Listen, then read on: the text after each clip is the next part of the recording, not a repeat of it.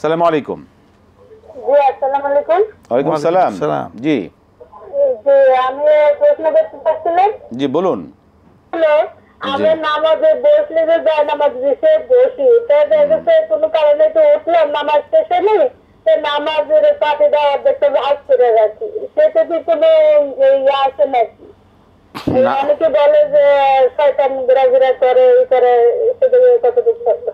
নামাজের মুসল্লা নামাজ শেষে যদি নামাজের যে মসল্লা সেটা যদি ভাজ করে রাখি এটাতে কোনো সমস্যা হবে কিনা? অনেকে না না সুন্দর করে রাখা হেফাজত করা ভালো। অনেকে বলে থাকে যে নামাজের মুসল্লা বিছিয়ে রাখলে শয়তান ঘোরাঘুরি করে শয়তান না এগুলি কোনো কথা না যে জি।